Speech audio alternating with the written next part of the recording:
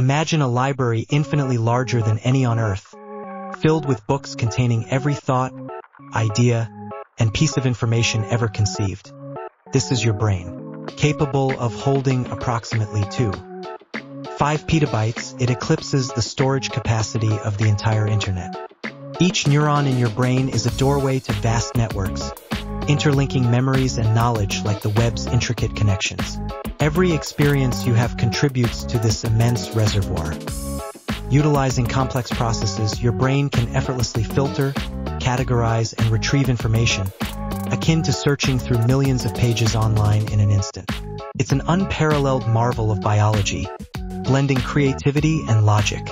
Yet, despite its power, the mind is not limitless. Activities like reading, writing, and even daydreaming can expand its capacity further. Nurturing your brain through continuous learning ensures this incredible resource thrives, unlocking new realms of understanding.